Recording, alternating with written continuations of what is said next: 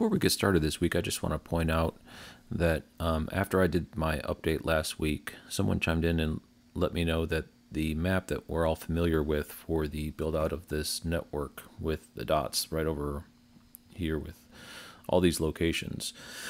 Um, someone went through and actually counted the dots, and it mentions 500 location, but there's not 500 dots. What we're looking at is approximately 250 locations of the goal of 500. So this map is not actually complete. Just this week, uh, EVgo updated their website to have this map, which is newer. And if you look at the legend, uh, we have current GM Pilot Flying J locations down here and potential GM Flying J locations here with these two different icons. These other icons are existing EVgo stations or coming EVgo stations. But it's helpful to have the uh, state lines, I find, because on the initial map, if you look, it's just the United States with some squiggly lines indicating major routes, but it's a little bit difficult to specify where each one of these dots are. However, on the new EVgo map, it's a little bit easier to dial in which one of these um, specific pilot flying J locations there are. So feel free to go over to the EVgo website, take a look at their uh, map coverage with the update of pilot flying J locations specified. And there is a disclaimer here saying that these are proposed locations. These aren't actual locations, except for the ones that are red. Those are actual locations. Okay, a couple of things happened this week. I'm going to start off with uh, this map, which again is an EVgo uh, graphic off their website. Out of Spec Podcasts recently did an episode on EVgo uh, per kilowatt hour pricing uh, policies.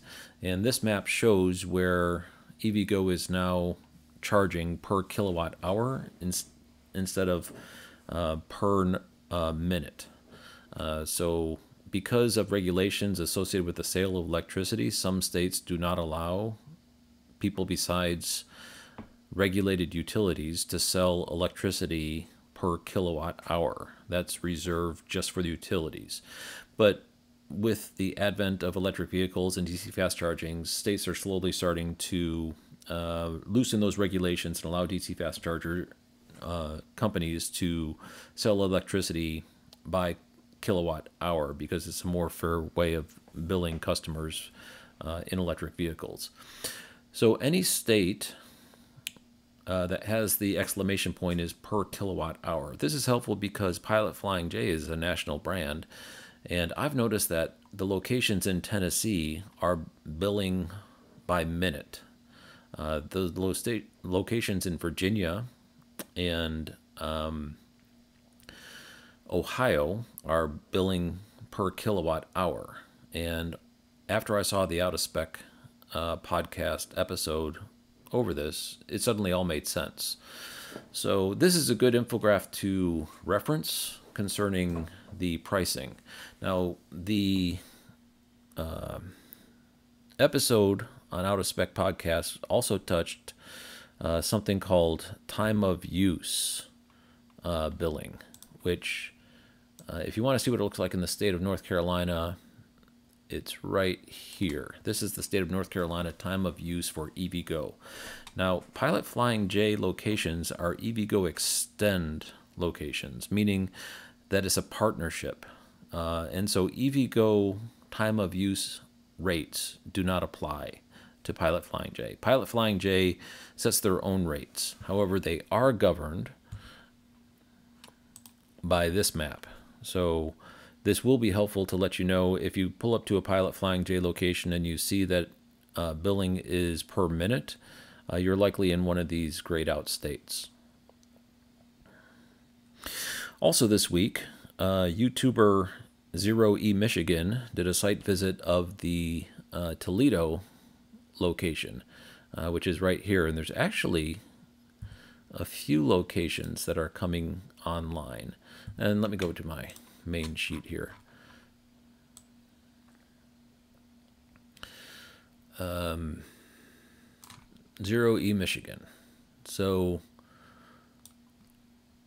it's a really nice video. Um, very crisp 4K recording and good commentary. You could tell that when he got there, he echoed the sentiment of multiple other people in PlugShare, chiming in saying these are some of the best EV charging locations they've ever ever been to. And I'm not cherry picking off PlugShare comments either. Feel free to go on PlugShare yourself, and you'll see there's people chiming in basically as a chorus saying these are some of the best EV charging locations they've ever been to. Uh, canopies, windshield squeegees, open 24 7, 365, clean restrooms. I don't know if anyone's been in a Tesla and pulled into a supercharger and an adjoining um, establishment has restrooms and you're wondering if it's okay to use them. And sometimes you walk into them and there's signs saying for patrons only only for customers um, no tesla whatever. And uh, you have to you know go find somewhere else to go to the restroom. Here you're actually a customer of the facility. So you can walk in and uh, they actually sometimes have lounges where you could sit back and watch tv uh, get yourself a cup of coffee some soda uh, trash cans that are maintained by the staff uh, some Tesla superchargers have tra- trash cans, but those are not maintained by the property staff. Those are maintained typically by uh, Tesla owner clubs in the vicinity. Uh, so just one amenity after another at these locations, and the comments in PlugShare and by Zero E Michigan concerning, you know, a canopy over a charging station, um, 24/7, 365 facilities. Um, waste cans, and windshield squeegees. These are just really nice charging locations. So I encourage you to go see uh, that site visit video as well, which I will link down below in the description. Um, one thing I have noticed, and before I go into the overall report, we do have one additional site, is that we are still at 2%. We are more than a month in. And unless they're going to be doing these in really large waves, um, is pretty clear that the trajectory of this project implementation is going to be years. Uh, if they're going to try to get to 500 and we've only done 10, and it's been almost a month since we've seen any progress ticking off at all, uh, this is going to take a long time. Um, by my rough calculations, we're looking at somewhere between four and five years, unless there's some very significant inertia that starts picking up on these. As I said, there was an additional location found. Uh, let me see if I can find it right here. Ottawa Lake, Michigan. It's the first one in Michigan, north of Toledo. Uh, moved from the under construction to the now um, open and available uh, category. A couple others have been spotted under construction. Um, we have the one in Oklahoma near the Texas Panhandle. Uh, we have one kind of near Orlando um, that was spotted under construction. Uh, let's see if any of these other ones are new.